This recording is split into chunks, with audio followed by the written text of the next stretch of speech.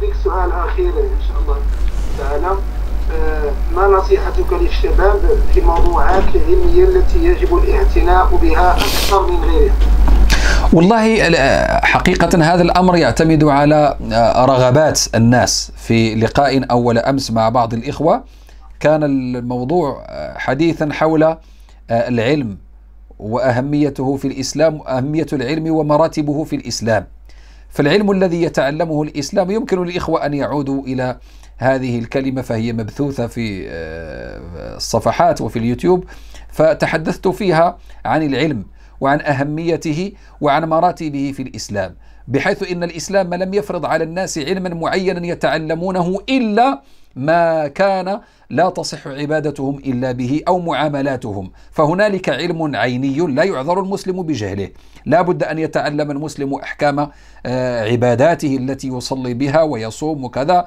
إذا كان له مال لا بد أن يتعلم أحكام الزكاة. إذا كان له رصيد يمكنه يمكنه من الحج لا بد أن يتعلم أحكام الحج. إذا أراد أن يتزوج لا بد أن يعلم أحكام الزواج. يجب شرعا عليه أن يتعلم أحكام الزواج. إذا أراد أن يطلق يجب أن يكون أيضا عالما بأحكام الطلاق وأحصل عدة كما قال الله تعالى. وهكذا فيما عدا هذا العلم العيني الواجب في حق كل مسلم المعتقد أيضا واجب فاعلم أنه لا إله إلا الله.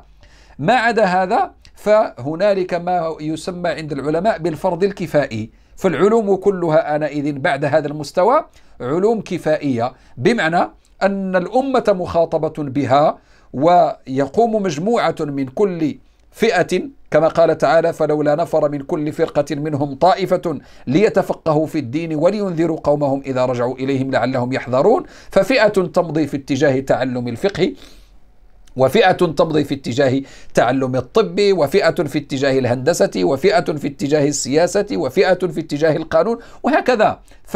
فكل ينظر حسب آه، ميولاته لكن لا بد من هذا القدر الذي يكون فرضا عينيا على المسلم بأن يحفظ أجزاء من القرآن يصلي بها وأن يعرف الأحكام التي بها يستطيع أن يؤدي آه، آه، عبادته.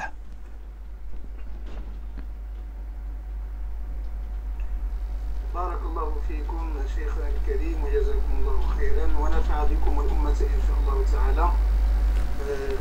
لكم دعاء بارك الله نختم به. إن شاء الله تعالى. إن شاء الله. سبحانك اللهم بحمدك نشهد أن لا إله إلا أنت نستغفرك ونتوب إليك. عملنا سوء وظلمنا أنفسنا فاغفر لنا فإنه لا يغفر الذنوب إلا أنت. ربنا تقبل منا إنك أنت السميع العليم وتب علينا إنك أنت التواب الرحيم وتجاوز عنا إنك أنت الجواد الكريم. ربنا تقبل منا الصلاة والصيام والقيام واحشرنا في زمرة خير الأنام. نسألك اللهم أن تغفر لنا ذنوبنا جميعا. اللهم إنك عفو تحب العفو فاعف عنا. وكريم تحب الكرم فتجاوز عنا. ولا تؤاخذنا بما فعلنا ولا بما فعل السفهاء منا. اللهم إنا نسألك في هذه الليالي المباركات. نسألك اللهم أن تجعلنا من عتقاء شهر رمضان. اللهم اعتق رقابنا ورقاب آبائنا وأمهاتنا وأزواجنا وأهلينا وأحبابنا. من النار. برحمتك يا أرحم الراحمين. اللهم ارفع عنا هذا البلاء والوباء عن بلدنا هذا خاصة وعن بلاد المسلمين عامة وعن العالم أجمع. برحمتك يا أرحم الراحمين يا رب العالمين.